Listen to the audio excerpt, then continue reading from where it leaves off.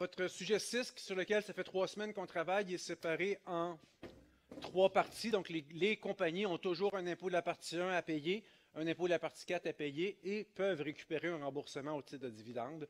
Il nous reste seulement à s'intéresser à l'impôt de la partie. Tout ce qui nous reste à traiter aujourd'hui, c'est l'impôt de la partie 4 qu'on n'a pas vu encore. La même information m'est présentée autrement. Donc, une compagnie paye un impôt de la partie 1, une compagnie paye un impôt de la partie 4 et est sujet à se faire rembourser une partie de ses impôts remboursables, tel qu'on l'a vu la semaine passée.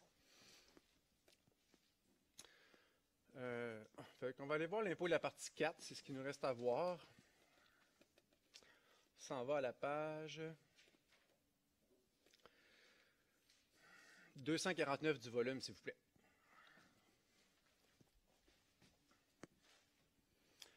Donc, je vous rappelle que les compagnies, je dis les compagnies, c'est un, synonyme de société, je devrais dire les sociétés. Euh, vous vous rappelez que les sociétés ils ont trois types de revenus possibles, soit du REEA, soit du revenu de placement total, ou soit des revenus de dividendes provenant de SCI, de sociétés canadiennes. Il n'y a pas d'autres possibilités. La partie 1 impose le revenu d'entreprise, le revenu de placement. L'impôt de la partie 4 impose les revenus de dividendes. Donc, c'est ce qui nous intéresse. C'est ce qu'on avait laissé tomber jusqu'à présent. Comment ça se calcule, euh, comment ça se calcule, oui, l'impôt de la partie 4? Il y a deux modes de calcul complètement différents. Ils ne sont pas très compliqués, on va aller les voir chacun. Mais quand une compagnie veut appliquer un impôt de la partie 4 sur des revenus de dividendes qu'elle a reçus, il faut qu'elle applique soit le mode de calcul 1 ou 2. Puis pour savoir quel mode de calcul appliquer, il faut déterminer si la, compagnie qui nous a versé le dividende, on, on est rattaché à cette société-là ou pas. Donc, ça nous amène une nouvelle notion qu'on n'a pas encore connue, qui est la notion de société rattachée. À ne pas confondre avec des choses dont on a déjà parlé. Je vous rappelle que dans vos cours de fiscalité, vous avez déjà entendu parler de sociétés liées, ça remontait à fiscalité 1. Puis des sociétés liées, ben, il y avait plusieurs impacts du fait qu'on ait des sociétés liées ou pas. Je vous rappelle qu'il y a deux semaines, on a parlé de sociétés associées. Liées, associées, rattachées, ce n'est pas la même affaire. Il y a deux semaines, on a parlé de sociétés associées. Il y avait cinq tests possibles pour rendre deux sociétés associées. L'effet de ça, je vous rappelle, c'était un partage obligatoire des rabais d'impôt. Le rabais d'impôt, 17 il faut se le partager dans un groupe de sociétés associées, tout comme le crédit d'impôt à l'investissement qui est à 35% Il y a un maximum de 3 millions de dépenses. Il faut se le partager dans un groupe de sociétés associées. Aujourd'hui, c'est une nouvelle définition c'est les joies du droit fiscal. donc, en droit, il y a beaucoup de définitions. On va s'intéresser aux sociétés rattachées ou pas. Et le seul enjeu derrière ça, c'est de bien appliquer l'impôt de la partie 4. Parce que tu appliques ton impôt de la partie 4 en fonction du calcul 1 ou du calcul 2, qui n'est pas du tout pareil, dépendamment si tu es rattaché à ta payeuse de dividendes ou pas. Allons voir c'est quoi des sociétés rattachées. C'est pas trop compliqué. On a ça deux, deux pages plus loin. Il y a deux tests qui rendent des sociétés rattachées. Donc, euh, une société payeuse est rattachée à la société récipiendaire si euh, elle est contrôlée par la société récipiendaire. Donc, on dit que une société payeuse est rattachée à la société récipiendaire euh, si un ou deux est rencontré. Donc, première possibilité, si on la contrôle. Donc, ici, on a un exemple. Ben, je vais lire l'autre test après, puis je ferai des exemples. Donc, première façon de, juger qu'on est rattaché à une société qui nous paye les dividendes, c'est si on la contrôle. Et le deuxième test, c'est un ou l'autre. Hein. Le deuxième test, bien sûr, c'est si on ne la contrôle pas. On peut aussi être attaché si la société récipiendaire détient à la fois plus de 10% de tous les droits de vote en circulation émises par la société payeuse et plus de 10% de la juste valeur marchande de l'ensemble des actions émises par la société payeuse. Dans le jargon, ça, on dit détenir plus de 10% des droits de vote et de la valeur marchande des actions. C'est ça qu'on vérifie avec ce deuxième test-là. Donc, si, une compagnie qui récipiendaire respecte ces conditions-là, on va aussi dire qu'elle est rattachée à la payeuse. Donc, regardez des petits exemples de ça euh, bien simples.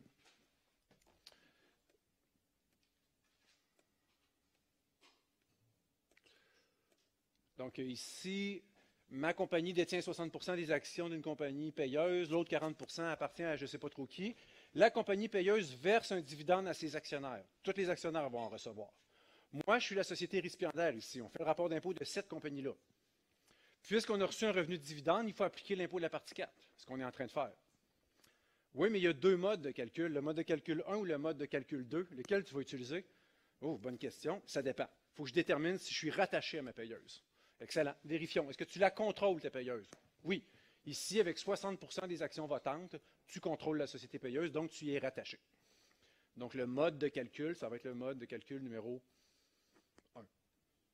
Je pense. 2. Ça n'a pas d'importance à ce stade-ci. Contrôler, ça veut juste dire détenir plus de 50% des droits de vote. Deuxième organigramme. Vous voyez ici. Donc, euh, cette fois-ci, j'ai 15% des actions votantes. Quelqu'un d'autre a 85 Et il n'y a pas juste des actions votantes en circulation, il y a une autre catégorie d'actions qui sont des actions non votantes. Vous voyez la valeur marchande de chacune des actions. Moi, ici, société récipiendaire, je reçois un dividende. Donc, je me dis, il faut que j'applique l'impôt de la partie 4. Parfait, mais il y a deux façons de le calculer. Un ou deux? Hmm, ça dépend. Il faudrait que je détermine si je suis rattaché à ma payeuse de dividende. Ben, parfait, on va regarder ça.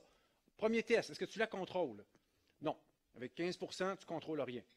Le 1 n'est pas rencontré. Deux, deuxième test. Est-ce qu'on pourrait dire qu'à la fois, tu détiens 10% de l'ensemble des droits de vote en circulation? Oui, j'en détiens 15% des droits de vote. Et ah, en plus, tu détiens plus de 10% de l'ensemble de la juste valeur marchande des actions en circulation. Ben, allons vérifier. La juste valeur marchande de toutes les actions en circulation, c'est 1000, 8500 puis 1500 additionner tout ça, ça donne quelque chose comme 10 000. Moi, j'en ai ici 1500. Donc, ça fait un ratio de 14% Donc, dans ce cas-ci, je détiens 15% des actions votantes et 14% de la juste valeur marchande de toutes les actions. Donc, encore une fois, je suis rattaché à la payeuse.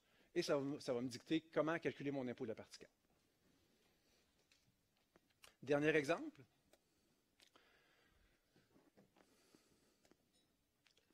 Donc, euh, vous voyez un petit peu, les, chiffres ont changé. Les valeurs marchandes ont changé surtout. Donc, je vous rappelle le contexte. On reçoit un dividende, on veut appliquer l'impôt de la partie 4. On ne sait pas trop comment appliquer l'impôt de la partie 4. Calcul 1 ou calcul 2. Ça dépend. Est-ce que tu es rattaché à ta payeuse? Je vais regarder ça. Est-ce que je la contrôle? Non. Est-ce que tu détiens à la fois 10% plus de 10% des droits de vote et de la juste valeur marchande des actions en circulation? Pour les votes, oui. Pour la valeur marchande?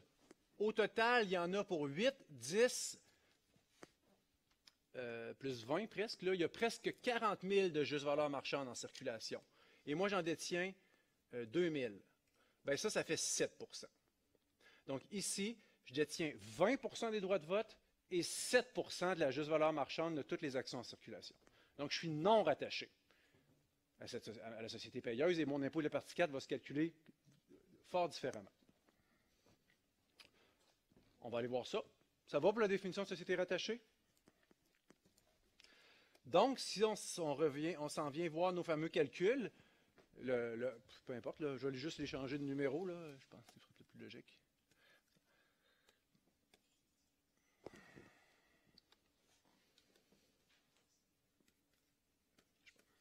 Je vais commencer par ici.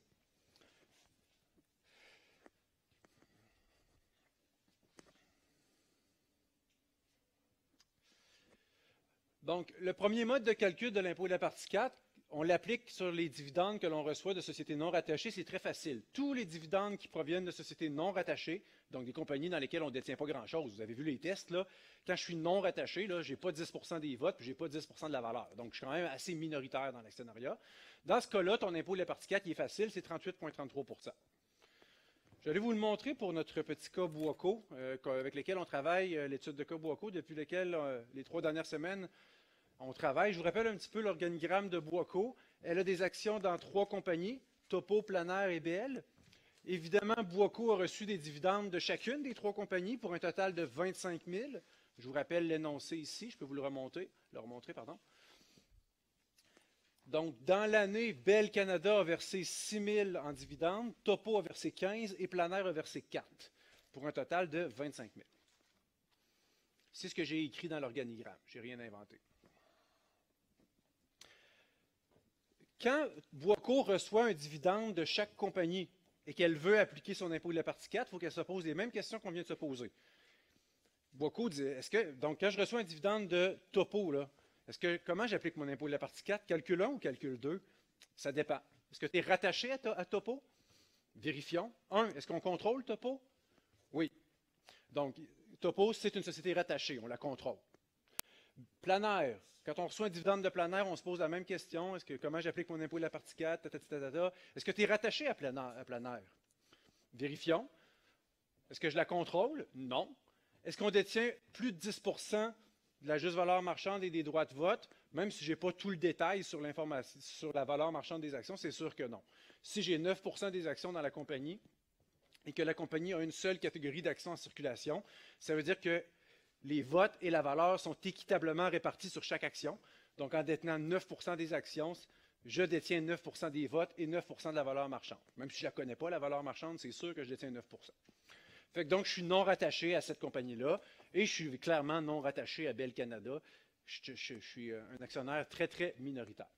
Donc, on va aller calculer l'impôt de la partie 4 en commençant sur les dividendes reçus de Planaire et de Bell, qui est le, mode de calcul que je viens de vous montrer avec un impôt fixe à 38,33% Donc, si on regarde l'impôt de la partie 4,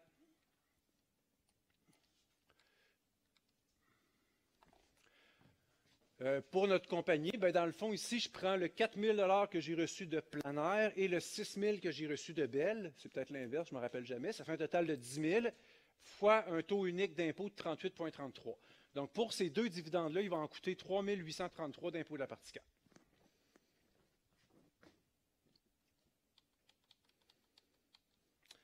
Maintenant, comment calculer l'impôt de la partie 4 sur les autres dividendes, ceux qui proviennent de sociétés rattachées, des, sociétés un petit peu plus proches, parce qu'on détient quand même plus d'actions dans ces compagnies-là.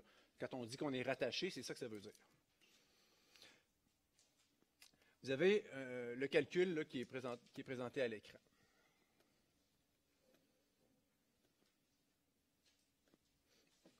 Puis le calcul, on le retrouve aussi ici. Je vais vous montrer un petit peu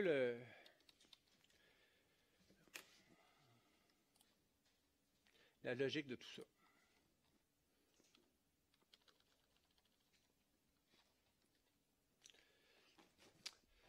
Je vous, explique, vous comment le gouvernement a voulu concevoir l'impôt de la partie 4. Puis vous allez vous comprendre que ça va être plus facile d'expliquer le mode de calcul. Le gouvernement, il y a vraiment deux façons de penser différentes, dépendamment de qui provient le dividende. Je l'ai dit amplement. La première, quand le dividende provient de sociétés lointaines, dans lesquelles tu n'as presque pas d'actions, moins de 10% quand c'est des sociétés non rattachées, OK, on l'impose à 38,33% comme on vient de le voir. Le mode de pensée est complètement différent dans l'autre cas. Quand une compagnie comme Topo verse un dividende à Boaco, puis qu'on on est rattaché à cette compagnie-là parce qu'on en détient un pourcentage quand même assez important des actions. Pour le gouvernement, c'est 15 000 le dividende. Quand il voit Topo verser 15 000 à Boaco, savez-vous ce qu'il voit le gouvernement? Il voit un groupe de sociétés qui prend 15 000 dans sa poche de droite puis qui se met dans sa poche de gauche. C'est juste de l'argent qui transite à l'intérieur d'un groupe de compagnies pas mal proches l'une de l'autre. Et pour cette raison-là, son but est tout à fait différent il ne veut pas récolter un nouvel impôt de la partie 4 à 38,33% comme on vient de le faire sur les dividendes plus lointains de compagnies non rattachées. Le gouvernement dit, moi, quand Topo verse un dividende à Boaco, je m'en fous. Je ne veux pas récolter de nouvel impôt là-dessus, je veux être neutre. Plus précisément, ça veut dire quoi, je veux être neutre? Ça veut dire que je ne veux pas récolter de nouvel impôt de la partie 4. Mais je ne voudrais pas non plus que cette opération-là me coûte quelque chose. Pourquoi je dis ça? Pourquoi le gouvernement, je le répète, pourquoi le gouvernement dit Moi, je vais être neutre dans cette opération-là quand Boaco verse 15 000 de dividendes à Topo? Pardon, Topo à Boaco. Neutre veut dire Je ne veux pas récolter de nouvel impôt sur cette transaction-là, mais je ne veux pas qu'il m'en coûte non plus. C'est ça, être neutre. Je ne veux rien recevoir, rien payer en impôt. C'est le gouvernement qui parle. Pourquoi le gouvernement aurait quelque chose à payer quand Topo verse un dividende à Boaco? À quoi je fais référence?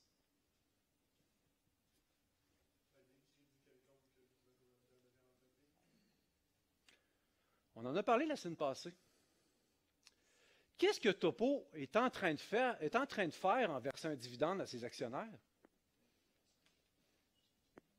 Elle n'est pas en train de remplir la condition qu'on lui demande de remplir pour récupérer ses impôts remboursables.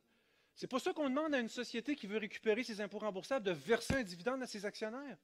C'est pas mal ça que Topo est en train de faire. Donc, ça se peut qu'en versant un dividende, Topo demande au gouvernement de récupérer ses impôts remboursables. On appelle ça un remboursement au titre de dividende. Je ne sais pas, là, parce que Topo, on ne la connaît pas bien, bien. Vous avez raison, ça fait trois semaines qu'on va rien que parler de Boaco. Topo, là, vous ne l'avez jamais vu. Venez avec moi, on va regarder Topo un petit peu. On va descendre dans le sous-sol. Là. On ne s'intéresse pas souvent à Topo, on va juste regarder son rapport d'impôt un petit peu. Vite, vite. Là. Topo, je vous annonce qu'elle a un compte d'impôt en main remboursable. toutes les sociétés ont des comptes d'impôt en main remboursable. Topo aussi. Et à toutes les compagnies, on leur dit si tu veux récupérer tes impôts remboursables, tu sais quel geste tu dois poser. Verse un dividende à tes actionnaires. Ben, c'est ce qu'elle fait, elle. Elle verse 18 750 en dividendes à ses actionnaires. 15 000 qui s'en va à Boaco, puis 20% qui s'en va aux autres actionnaires. C'est exactement ça qu'elle fait. Donc, elle dit au gouvernement Donne-moi mes impôts temporaires. Là, il y a tout un petit calcul, puis elle obtient 3 000. Boaco a reçu un remboursement d'impôts du gouvernement de 3 000 de ses impôts remboursables.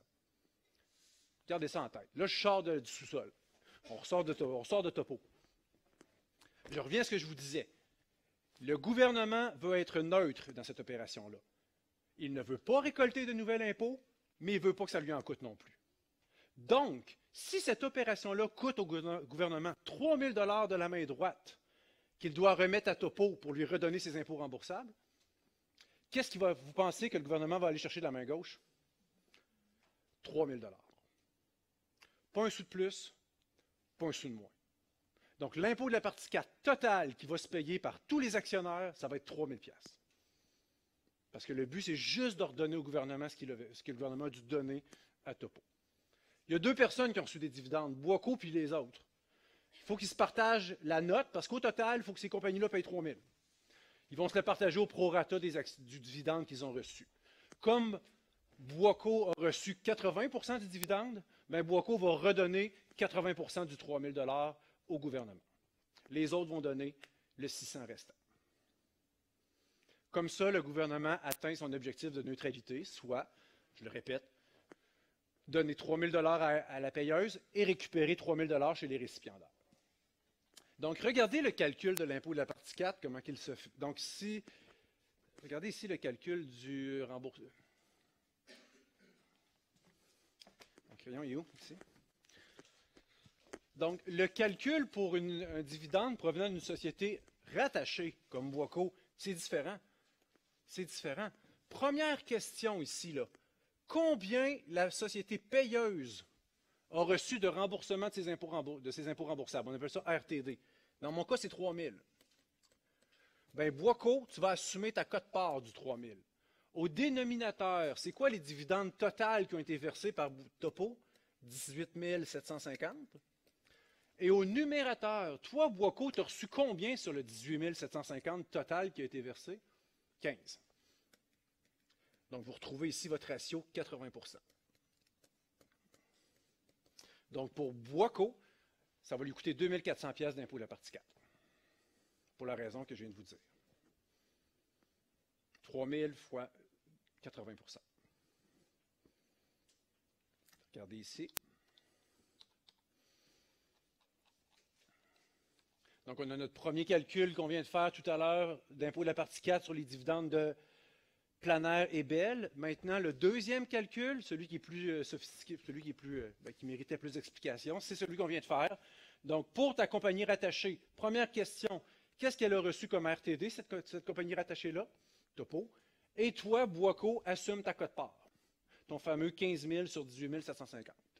Donc, ça donne un impôt de la partie 4 total, si on, après, après les, deux modes de calcul appliqués, nos trois dividendes ont été imposés et ça donne un total de 6 233.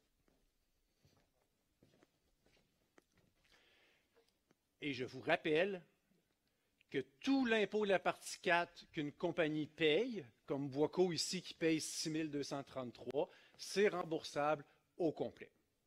Peu importe le montant d'impôt de la partie 4 que vous allez calculer à une compagnie, avec toutes les règles qu'on vient de discuter, peu importe le chiffre auquel vous allez arriver, oui, la compagnie va devoir faire un chèque de ce montant-là au gouvernement pour payer son impôt sur ses revenus de dividendes, mais assurément que cet argent-là va y revenir au complet, parce que je vous rappelle que l'impôt de la partie 4 qui est payé, s'en va au complet dans le compte d'impôt remboursable pour Boisco. Des questions?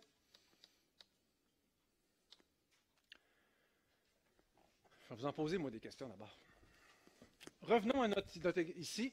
Je vais changer une donnée. dans tout l'organigramme, là, juste pour qu'on discute. RTD reçu par Topo. Ça se pourrait-tu que ça donne zéro? Est-ce que ça se peut qu'une compagnie qui verse des dividendes ne récupère aucun impôt remboursable? Est-ce que c'est possible ou euh, c'est impossible que ça arrive? Est-ce que toutes les compagnies ont un compte d'impôt remboursable bien rempli? Non.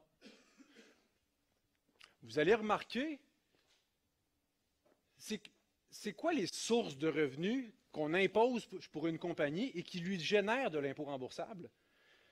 Rappelez-vous, c'est 26 et 2, euh, pas 26 et 2 c'est 30,67% de son revenu placement total qui s'en va dans le compte d'impôt remboursable, et c'est l'impôt de la partie 4 appliqué sur les revenus de dividendes.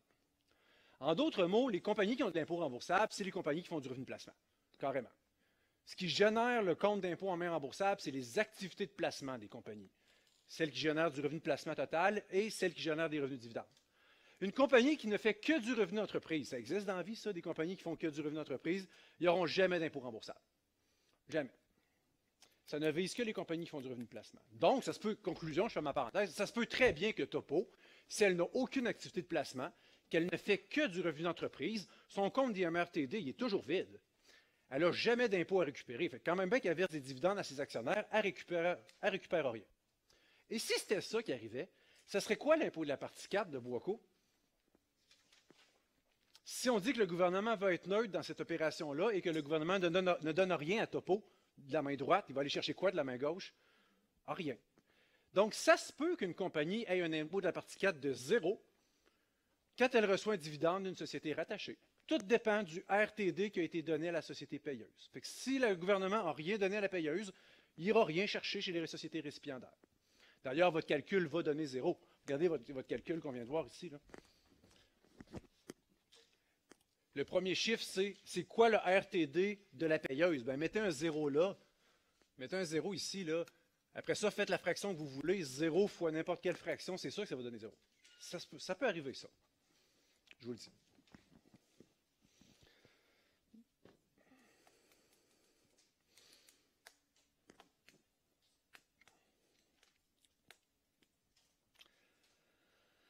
OK, alors s'il n'y avait pas d'autres questions, euh, pour l'impôt euh, de la partie 4, ça fait le tour. Donc, rappelez-vous ça pour l'examen, peut-être euh, sur votre feuille d'annotation. Ici, deux modes de calcul, mode 1, mode 2, et ça dépend si tu es rattaché ou pas à ta société payeuse. Et c'est peut-être bon de se rappeler aussi la définition de ce que c'est une société rattachée ou pas. Good.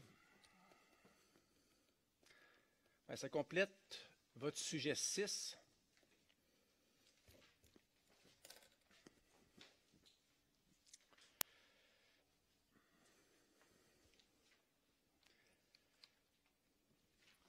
OK, alors dernière chose, euh, on, pourrait dire un peu hors contexte, mais quand même important. Il faut parler un petit peu de, TPS et TVQ, mais vous voyez que c'est très, très, très marginal. On va en parler pendant 30 minutes, 40 minutes tout au plus. Mais je veux juste faire remarquer que ce tableau-là, c'est le tableau que je vous montre au début de chacun de vos sujets depuis votre premier cours de fiscalité 1. Je vous ai accueilli dans le premier cours de fiscalité 1, je vous ai dit, la structure d'un rapport d'impôt, c'est ça. Et depuis, il n'y a pas un maudit cours qu'on n'était pas à quelque part à l'intérieur de ce tableau-là. On a fait à peu près toutes les lignes, toutes les sections. Pour un particulier, pour une société, on s'est promené partout, partout, dans un ordre quelconque, que vous vous rappelez peut-être pas, mais tout a été vu. on pourrait comme dire, le cours, d'impôt sur le revenu, il est terminé. Le sujet 7, il est un peu hors contexte parce que ça n'a rien à voir avec l'impôt sur le revenu. C'est une autre forme d'impôt, les taxes à la consommation. Donc, on est complètement ailleurs. J'ai le goût de vous dire, c'est aussi compliqué et aussi complet les taxes à la consommation que l'impôt sur le revenu. on fait vraiment de vous des, très bons étudiants en impôt sur le revenu. On vous donne quatre cours de 45 heures chacun. Ben, pour, ceux qui sont, s'en vont CPA, avec, le, programme de deuxième cycle dans lequel il y a un quatrième cours de fiscalité, vous allez avoir quatre cours sur l'impôt sur le revenu. Puis là-dedans, 30 minutes, c'est la taxe. Avant, on ne la traitait même pas. Je pense, donc, 30 minutes, c'est taxes. Puis on pourrait faire quatre cours de 45 heures sur les taxes. Il y a du jus là-dedans, en masse. Quand tu es fiscaliste, tu fais une carrière soit en taxes, soit en impôt sur le revenu. C'est deux expertises aussi euh, challengeantes l'une que l'autre.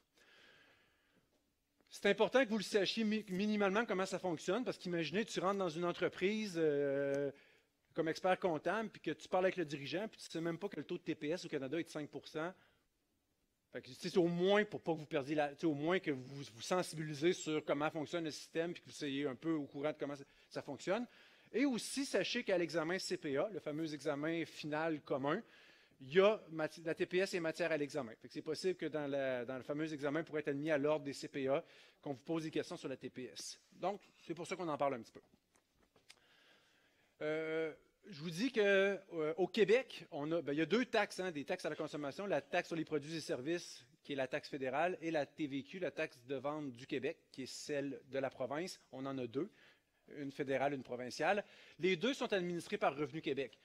Donc, Revenu Québec, qui est l'Agence du revenu du Québec, si vous préférez, euh, est mandatée par le, gouvernement fédéral, puis c'est elle qui gère toutes les questions de TPS, TVQ.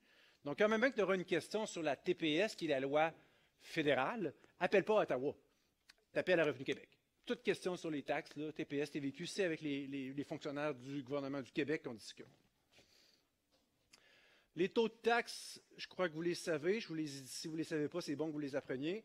Donc, euh, actuellement, le taux de TPS est de 5% du prix de vente. Le taux de TVQ est de 9,975.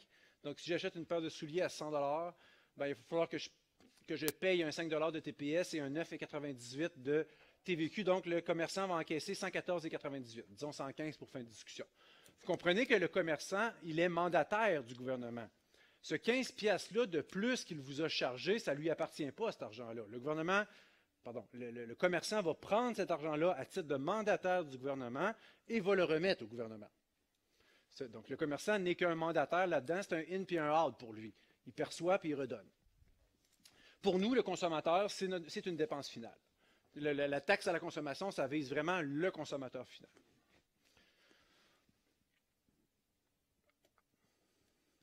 Qui doit s'inscrire aux taxes? Si vous avez euh, un, client qui vous dit, je me pars une nouvelle entreprise, moi je vais vendre des bébelles euh, sur Internet ou je vais vendre des bébelles à des clients en Ontario, est-ce qu'il faut que je m'inscrive aux taxes? Vous allez répondre quoi? Oui? Vous allez répondre oui, il faut s'inscrire à, moins que vous soyez en bas de 30 000. Exactement. Donc, tout le monde doit s'inscrire. Euh, il y a des mythes qu'il faut défaire. Là. Toute, toute, toute entreprise qui se part en affaires au Québec doit s'inscrire aux taxes. Oui, oui, mais je vends à 10 mondes aux États-Unis, c'est pas grave, tu t'inscris aux taxes. Oui, mais je vais vendre sur Internet, c'est pas grave, tu dois t'inscrire aux taxes. Tu as beau répliquer n'importe quel argument, si tu es en affaires au Québec, tu dois t'inscrire aux taxes. C'est tout le monde sans exception.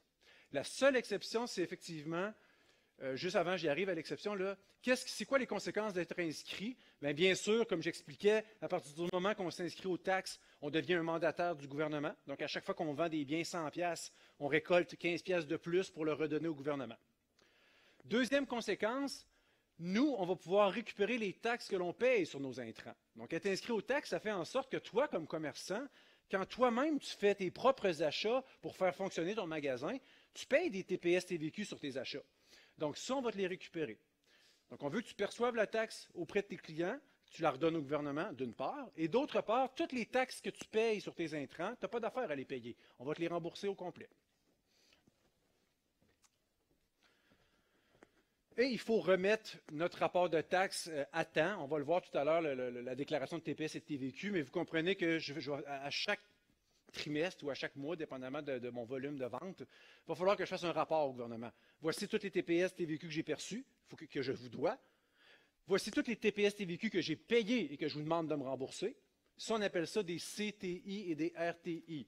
Donc, le crédit de taxe sur intrant, c'est le remboursement de la TPS qu'on va donner au commerçant sur la TPS qu'il a payée, sur ses intrants. Et le RTI, le remboursement sur euh, de la taxe sur les intrants, c'est la même chose dans le régime du Québec. Donc, le, commerçant, lorsqu'il fait un rapport de taxe, il fait le net de ces quatre montants-là.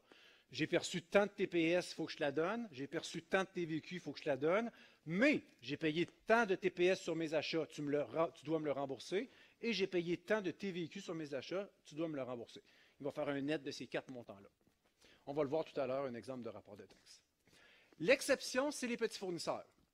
Madame l'a bien dit, les seuls commerçants qui ont, la permission de ne pas s'inscrire aux taxes s'ils le veulent, ils peuvent s'inscrire quand même, c'est un choix, mais ils ne sont pas obligés.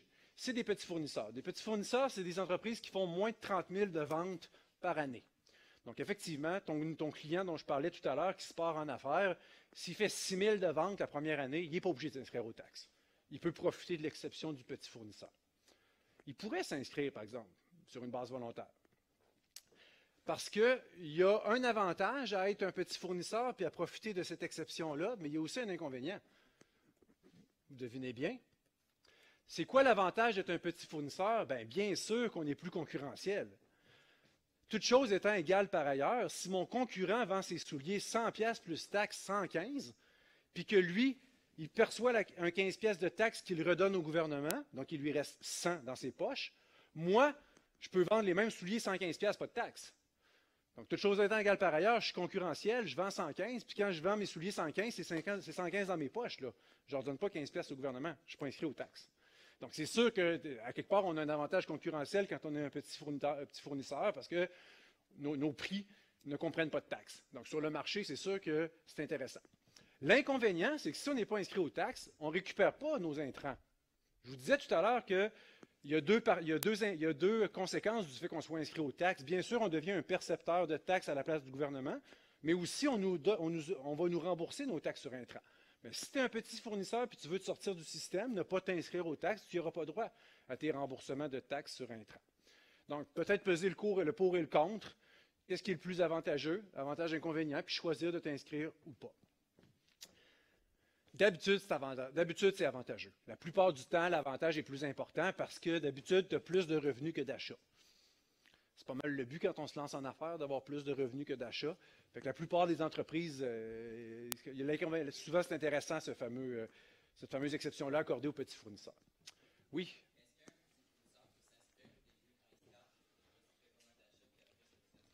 Je pense pas. Je pense pas. Possibilité de choisir de s'inscrire, mais le choix doit être respecté jusqu'à la fin de l'exercice au cours duquel le choix a été fait. Peut-être qu'à l'année la fin de l'exercice, peut-être qu'il peut se repositionner sur ce choix-là, effectivement, mais pas en cours d'exercice. C'était ça ta question? Good. OK, maintenant, euh, au Québec, ou dans la loi, dans les lois sur les taxes, il y a trois types de, ventes possibles que les gens, que les commerçants peuvent faire. Il y a des, appelle, des fournitures, ça veut dire des ventes. Là des ventes taxables, détaxées, exonérées. 95% de vos achats, c'est des fournitures taxables. Vous le savez, dans une semaine, on en paye-tu de la taxe? Tu vas au restaurant, tu vas t'acheter des souliers, tu vas dans un magasin, tu en payes tout le temps de la taxe. Il y a quelques biens qui sont détaxés ou exonérés. Avez-vous des, exemples à me donner? Juste pensez à votre vie tous les jours. Pensez à une semaine normale où vous allez faire des achats. Y a-t-il des achats que vous remarquez qui sont moins taxés ou pas taxés? Les livres, il n'y a pas de TVQ, effectivement. L'épicerie. Quand tu vas à l'épicerie, il n'y a pas beaucoup de taxes sur ta facture d'épicerie. Fait tous les aliments de base sont euh, détaxés. La pharmacie, si tu vas acheter des médicaments, ça va être euh, détaxé ou exonéré. On va vérifier, je vais vérifier ça. Ouais. Je pense qu'ils rentrent dans aucune des trois catégories. Tout est détaxé là-bas. Fait que je, ils ne doivent même pas euh, être assujettis à la taxe. Euh, le fameux livre qui s'appelle la loi sur la TPS, la loi sur le DVQ, ne doivent même pas être assujettis à ça. Mais ils ont leur propre loi indienne. Oui? Oui, des, articles pour la, la santé, là. Oui, effectivement. Good. Donc, fourniture taxable. Si on fait des fournitures taxables, c'est 95% des cas, comme je vous disais. Mais comme commerçant, tu es obligé de percevoir la taxe, et on va te permettre de récupérer tes intrants. Deuxième scénario, euh, détaxé. Détaxé, tu es inscrit aux taxes quand même. OK? C'est juste que la, loi de la, ce qu'elle dit, c'est que si tes fournitures sont détaxées, tu dois faire la même chose que ceux qui ont des fournitures taxables. Sauf que le taux de TPS et le taux de TVQ que tu charges, au lieu d'être de 5 et de 9,975, sont ramenés à zéro. Donc, théoriquement, tu perçois la taxe chez tes clients, mais au taux de zéro. Donc, ça revient à dire que tu ne perçois pas de taxe auprès de tes clients. Mais comme tu es inscrit aux taxes, tu peux récupérer tes intrants. Donc, les gens, les, entreprises qui font des fournitures détaxées ne perçoivent, ben, perçoivent une taxe au taux de zéro, donc ne perçoivent pas de taxe, mais puisqu'ils sont inscrits, ils peuvent réclamer leur CTI et leur RTI. C'est pas mal le meilleur des mondes. Donc, effectivement, tous les produits alimentaires de base sont des produits, euh, des fournitures détaxées. Donc, quand vous allez à l'épicerie, tout ce qui est produits alimentaires de base, il n'y aura pas de taxe là-dessus, ou en tout cas un taux de zéro, c'est la même chose. Euh, là, c'est plein d'exceptions. Il y en a même qui, il y a même des exceptions qui ont fait, euh, qui ont fait des articles dans les journaux tellement que c'est bizarre. Là, parce que dans une, épicerie, ça ne vend pas juste des produits de base, ça vend aussi des produits prêts à consommer. La logique, c'est comme de dire, si tu vas à l'épicerie et tu achètes quelque chose qui est mangeable tout de suite, ce n'est pas, un produit de base. Donc, quand tu achètes un poulet tout cuit, produit taxable. Quand tu achètes des chips, taxable. De la liqueur, taxable. Quand tu achètes un yogourt, six petits yogourts, taxable, parce que tu peux le manger tout de suite. Mais si tu achètes un gros litre de yogourt, pas taxable, parce qu'il faut que tu le verses dans un plat avant de le manger. Donc, c'est plein, plein, plein d'exceptions. les, gens en épicerie gèrent ça.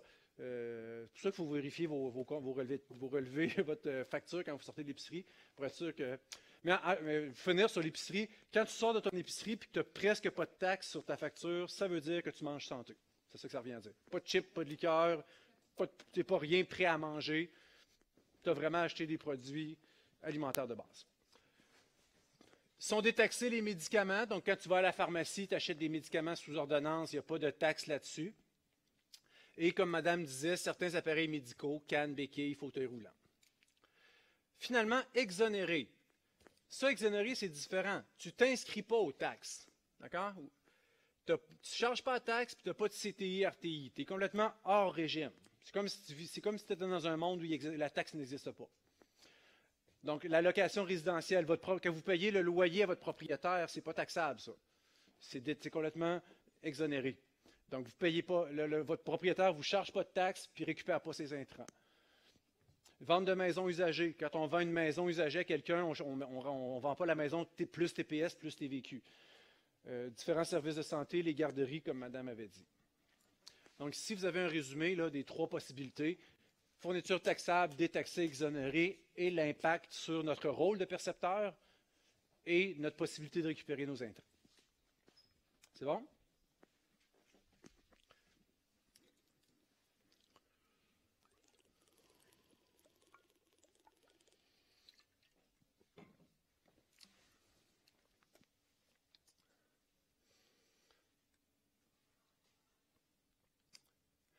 Bon, OK, je vais vous montrer ici un, euh, exemple de,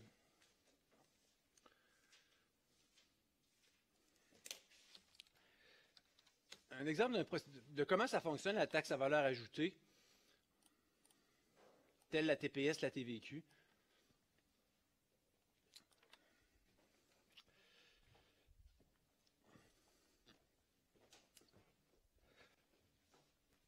Première chose qu'il faut que vous compreniez, les taxes à la consommation, ça vise qu'une seule personne, le consommateur final.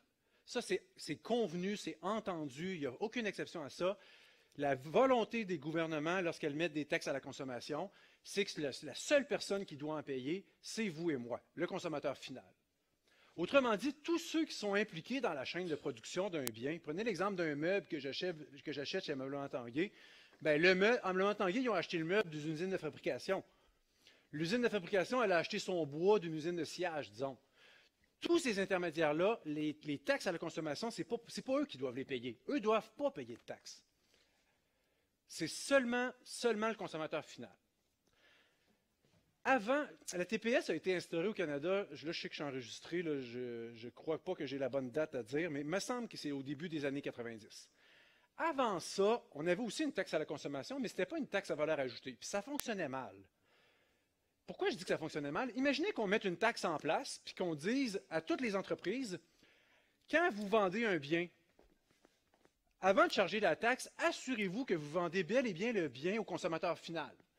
Parce que c'est juste lui qu'il faut qu'il paye la taxe. Donc, si vous vendez votre, bien à un intermédiaire qui va faire d'autres choses avec, puis qui va leur vendre encore, ben, chargez-y pas la taxe. Mais si c'est un consommateur final qui vient, lui, tu y charges. Comment tu vas appliquer ça? Imagine, tu es une usine de fabrication de meubles ou tu es une usine de sillage, puis euh, quand tu vends ton bois à telle compagnie, tu ne mets pas de taxe, parce que lui il dit oui, mais je vais m'en servir pour d'autres choses. Puis tu le vends à un gars qui est, un consommateur final, ingérable. Donc la taxe à valeur ajoutée a simplifié ça beaucoup en disant on ne se casse pas la tête maintenant. À chaque fois que tu fais une vente, tu charges les taxes, sans exception. Et la personne à qui tu as chargé les taxes, s'il n'est pas le consommateur final, on va lui rembourser au complet. C'est ça la logique. on charge des taxes à tout le monde dans toutes les instances du processus de fabrication. Et la personne qui a acheté un bien puis qui a payé les taxes puis qui n'aurait pas dû parce qu'il n'est pas le consommateur final, ben, il va demander un remboursement puis on va lui donner. Les fameuses CTI, RTI. Fait que tout ça marche très bien. Taxes, remboursement de taxes, paiement de taxes, remboursement de taxes. Tout ça marche très bien. Puis le dernier, le dernier coco, c'est moi puis toi qui s'en va acheter un bien puis qui paye la taxe puis qui se retourne puis hop, il n'a pas de remboursement. C'est sûr, ça va finir comme ça. Alors, regardez euh, un petit exemple. On a une usine de sillage, par exemple, qui va, euh, qui va vendre euh, du bois. Disons ici, on a une usine de sillage qui va vendre de, des planches de bois à l'usine de fabrication. on présume que ça n'y a rien coûté, le bois. Là, je pars mon problème avec un zéro pour faire une discussion. Mais donc, vend son bien à, une, une compagnie qui va fabriquer des meubles. L'usine de sillage, elle ne se casse pas la tête. Elle charge TPS TVQ.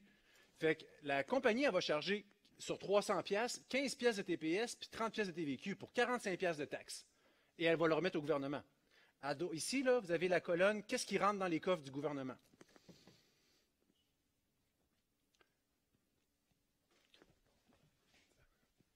L'usine de fabrication, elle, elle prend les planches, puis elle fait un meuble. Elle revend le meuble 400 pièces. Elle va vendre le meuble à, ameublement Tanguay, le magasin de vente au détail. L'usine ici ne se pose pas la question, je cherche les taxes, je ne charge pas. Tes charges, c'est sûr. Donc 20 pièces de TPS, soit 40 euh, pièces de TVQ pour 60 pièces de taxes. Mais qu'est-ce qu'elle va dire, l'usine de sillage, euh, pardon, l'usine de fabrication de meubles qui vient de percevoir les taxes? Elle va dire, oui, mais les taxes que j'ai payées tantôt, rembourse-moi-les. Je ne suis pas le consommateur final. Donc, ce 45 $-là ici, on va le rembourser à l'usine de sillage.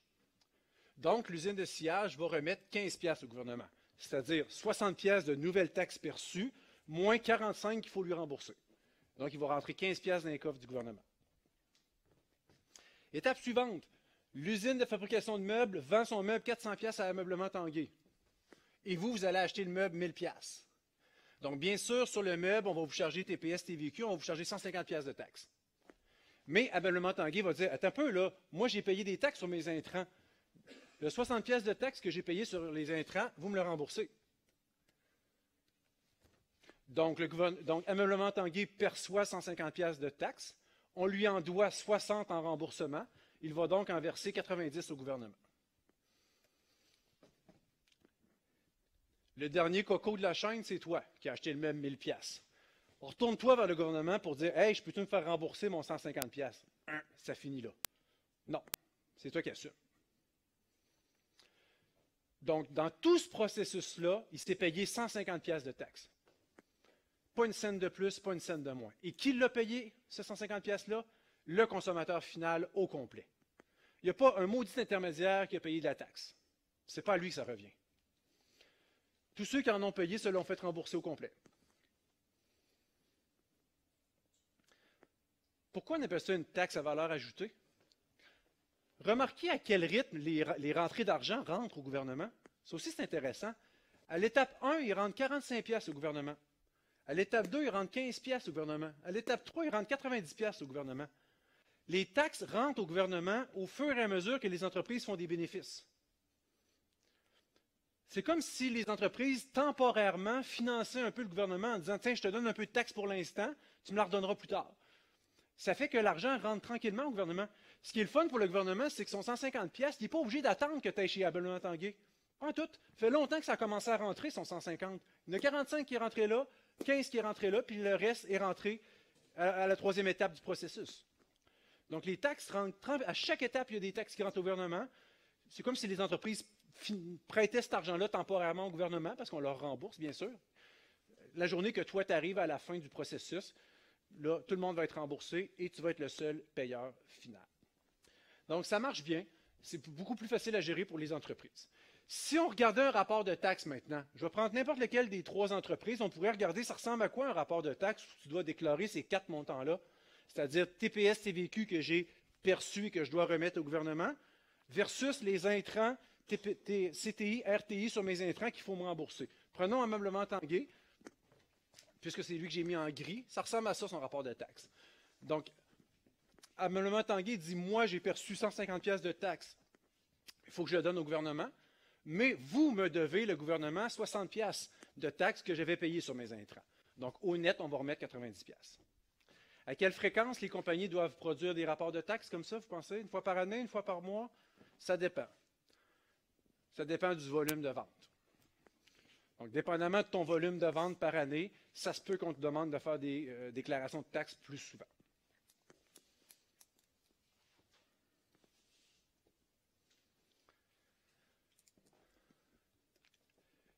En terminant, une chose qui est super importante pour une entreprise, c'est de ne pas être en retard dans sa remise de taxes. Dans toutes les obligations qu'une entreprise peut bien, dans toutes les relations qu'une entreprise peut bien avoir avec le gouvernement, là, celle qui est pénalisée avec le plus de sévérité, c'est le non-respect des remises de taxes. Le gouvernement est intraitable là-dessus. Parce que le gouvernement dit que c'est un acte de confiance. On, demande aux entreprises de jouer le rôle du gouvernement, de jouer le rôle des percepteurs. Ce n'est pas à eux cet argent-là. Quand, tu, perçois 15 pièces de, taxes sur une, paire de souliers de 100 le 15 pièces, il n'est pas à toi, il est au gouvernement cet argent-là. Aucune tolérance. Si tu es en retard, je pense que c'est des 20% d'intérêt, à peu près les taux d'intérêt, c'est faramineux parce qu'on veut vraiment, on trouve que c'est un, geste de confiance qu'on attribue envers les entreprises en, leur demandant de faire la perception des taxes à la place du gouvernement. Dieu sait qu'il ne faudrait pas qu'un entrepreneur garde ces taxes-là pour lui, puis on comprend que ça doit aller dans les, fonds publics. Donc, je pense que ça illustre bien le, le fonctionnement. Est-ce qu'il y a des questions? C'est bon? Ben, ça va être ça. Voilà. C'est ce que j'avais à vous dire aujourd'hui, donc ça a repris un petit peu, un petit peu moins de temps. Ça fait, ça fait fini par le fait même le, sujet 7. Donc je vous propose, euh, on prend une petite pause, disons une vingtaine de minutes. À midi, euh, pardon, à 1h20, il y a un autre problème qui vous attend, encore une fois sur l'impôt de société. Il va falloir, euh, faut continuer à vous pratiquer, c'est important parce qu'il va y avoir un bon problème d'impôt des sociétés à l'examen, c'est certain. Faut gagner en vitesse, il faut gagner en fluidité, il faut que ça commence à avancer, ces, résolutions-là d'impôt de société. Donc j'en ai un, il y en a un dernier à faire, donc je vous encourage à rester là avec moi tout à l'heure. Puis on va finir pas trop tard, vu que on va se donner peut-être euh, une heure et vingt. On va se donner jusqu'à deux heures et demie. Je ferai le défi caout, le dernier défi caout, à deux heures et demie tout à l'heure. C'est bon? Merci.